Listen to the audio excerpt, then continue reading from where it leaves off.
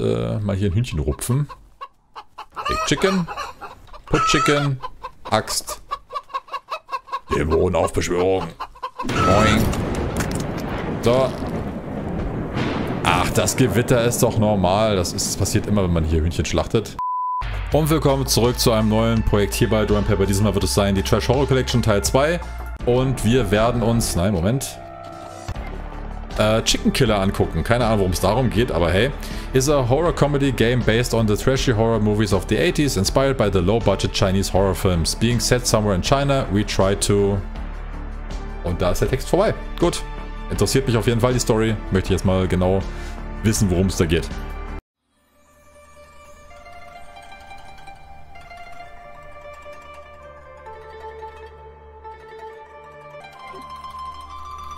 China, 1997. There is an ancient prophecy that people fear a lot, written by a Chinese monk on top of a mountain. Fängt ja schon mal gut an. The prophecy says that when the sky is red, it is forbidden to kill a chicken.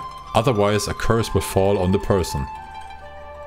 A being will come from hell to hunt and kill all those who eat chicken, unleashing evil on our world. We live thousands of years in peace, but someone was about to bring hell to earth. Das kannst du dir nicht ausdenken, sowas. Aber man schafft es dann doch irgendwie.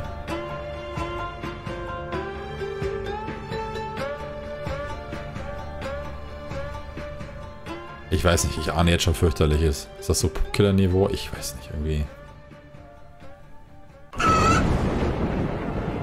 616 Games Presents. Rahmen. Oh Gott. Wenn es da Rahmen gibt, wird er wahrscheinlich jetzt für sein, für sein Essen ein Hühnchen schlachten, um es in seine Suppe zu machen. Und dann kommt der Chicken Killer.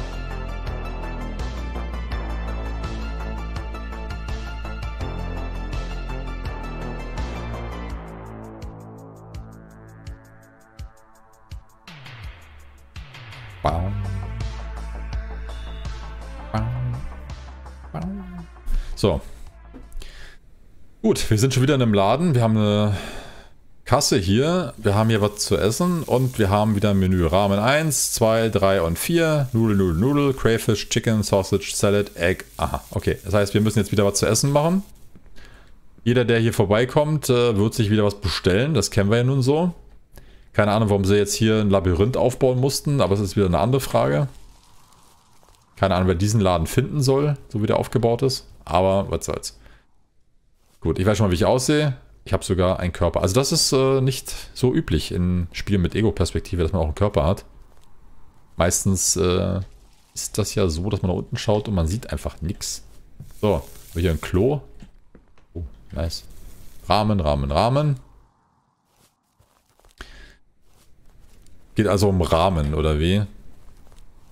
Die sogenannte Rahmenhandlung. ah, okay. So, hier sind Chickens. Das ist nicht gut. Das ist nicht gut, weil das wird eskalieren. Der wird sich jetzt sicherlich eine Axt nehmen und wird ein Hühnchen schlachten. Und ich gehe mal davon aus, da jetzt hier nichts passiert... Oh doch, da passiert was. So, was ist denn da? Da, Zhuang.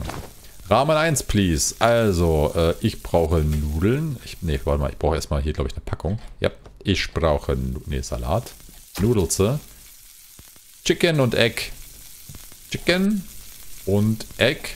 Ja, hallo. So, bitteschön. Gönn dir. You don't look very happy, my friend. Personal problems, friend. Life is hard. Ja, das ist manchmal so. Don't be discouraged. Your ramen is delicious. You have great potential as a chicken. Hä? Thank you. Have a good night, friend. Good night. Take care. Here's the money. Boah, wie wär's gleich mit bezahlen?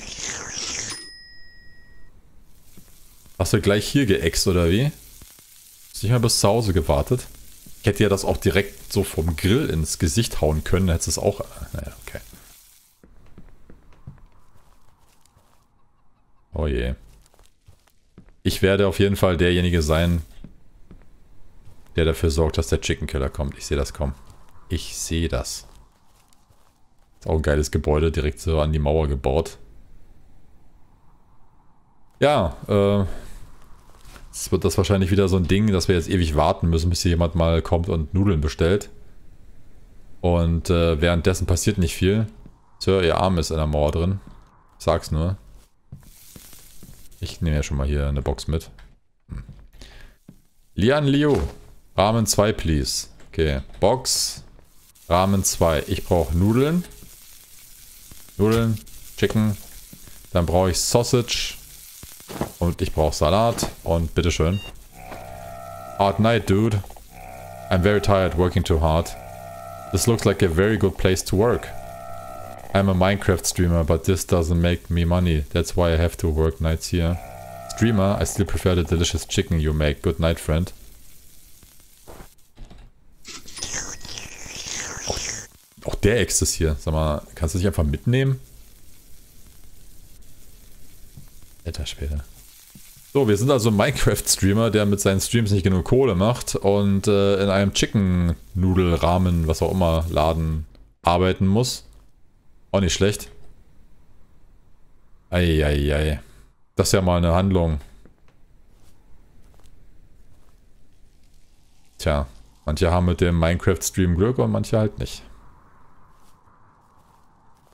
So, da hinten ist eine Lampe an ja, das ist wieder hier so ein bisschen die nicht unbedingt negative Seite, aber so ein bisschen die schwierige Seite von den 616 Games. Du hast dann halt so wirklich Stellen dabei, wo du dann ewig wartest, bis irgendwas passiert. Drei, ja, Xiaoming.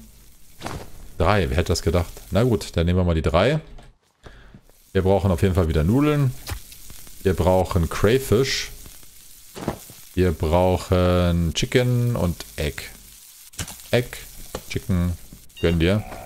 Hey Captain, I'm starving. Hey man, don't worry, I took care of your ramen. Thank you friend, you without a doubt make the best chicken in town. Enjoy your food, I hope you enjoy. Thanks man, see you later. Und gleich wieder geäxt.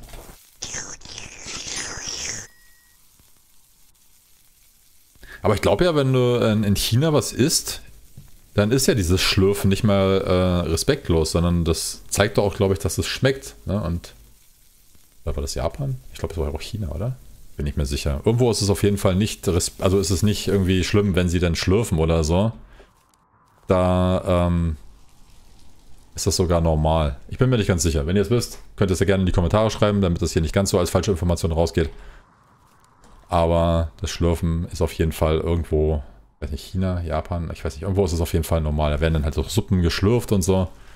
Ich glaube sogar, ich habe mal gehört, dass wenn du in China eingeladen wirst zum Essen, oder da bin ich mir auch nicht ganz sicher, ob es jetzt China ist, und du isst auf, dann ist das irgendwie auch, glaube ich, nicht unbedingt respektlos, aber halt auch schwierig, weil immer wenn du auf isst, dann hat der Gastgeber das Gefühl, hat dir nicht genug Essen gegeben und muss dann immer versuchen nachzulegen. Deswegen sollte man auch einfach mal sagen, hey, ich esse jetzt nicht auf. Das, was höflich ist bei anderen, dass man auf isst, ist in anderen Ländern wieder nicht höflich, weil der Gastgeber das Gefühl hat, er hat dir nicht genug Essen auf den Tisch gegeben.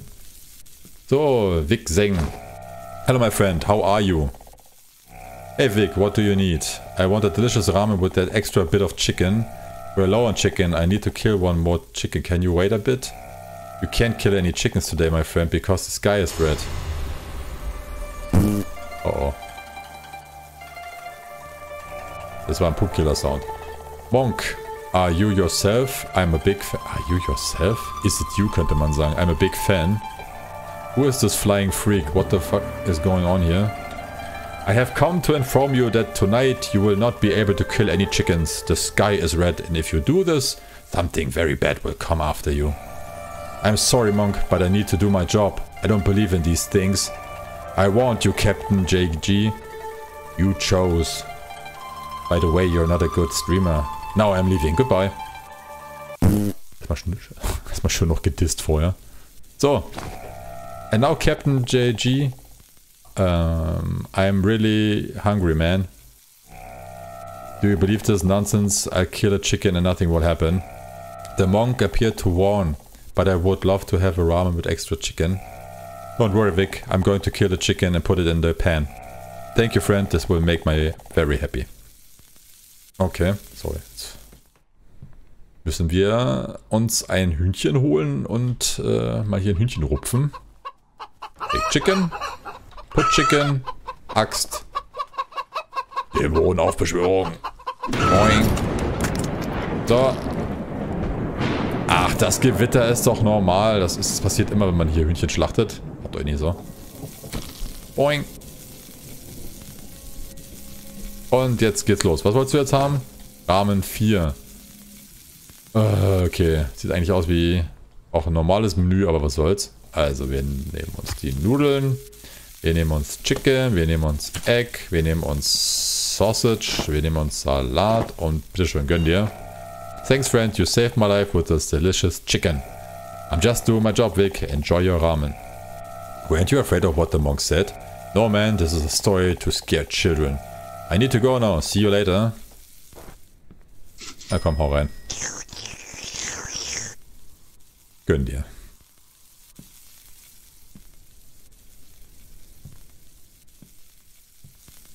Da kommt hier ein Monk aus dem Nichts, schwebt hier vor uns rum, warnt uns und er denkt sich so, ach, das mit dem, mit dem Chicken Killer ist doch hier ein Märchen. Wenn ein Monk vor dir rumfliegt ja, und aus dem Nichts auftaucht und, aus, und ins Nichts wieder verschwindet, dann sollte man schon an etwas Übernatürliches glauben, oder nicht? Oder bilde ich mir das jetzt ein? Hat ein Hühnchen gekillt. Konnte er nur.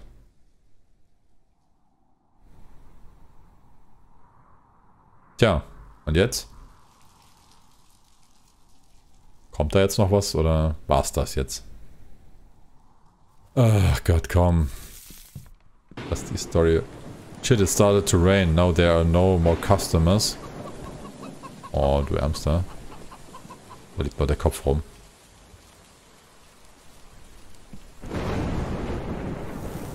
Shit is the prophe prophecy You shouldn't have killed that chicken. Oh Gott, oh Gott, oh Gott. So, ähm...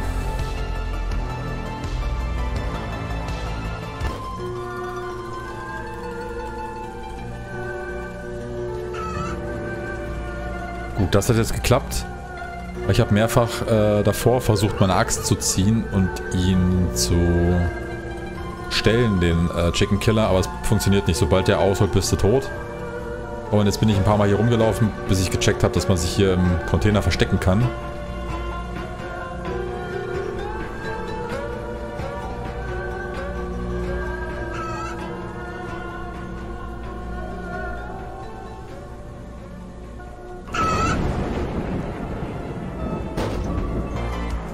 And now I need to call Vic. He'll know what to do.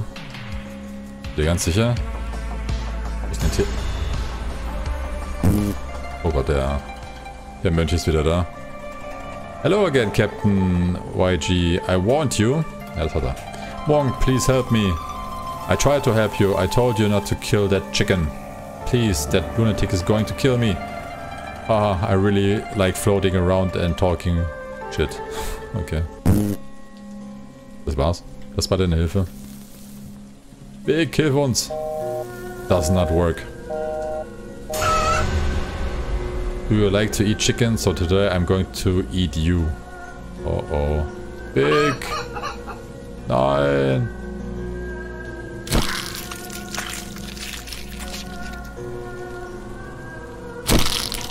Oha. Summon the monk, use the power of the chicken, face the chicken killer, escape in third person. Summon the monk. Kann der uns helfen?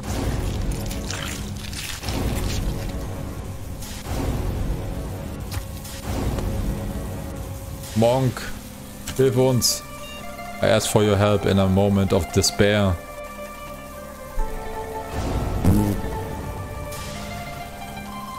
I came to save you, boy. Come on, get on my back. Na Gott sei Dank. You can't help him, Monk. I'm just fulfilling the prophecy. This boy deserves to live. I'll will I will save him.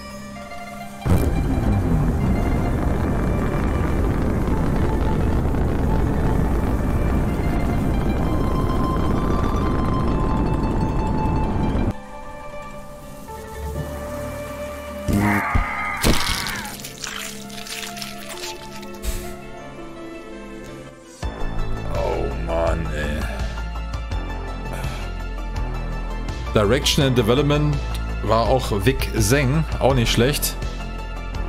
Ja, Carl Casey hat wieder mal äh, die Musik dazu beigesteuert. Natürlich. Gerade was an der Brille gehabt, deswegen musste ich mal kurz absetzen.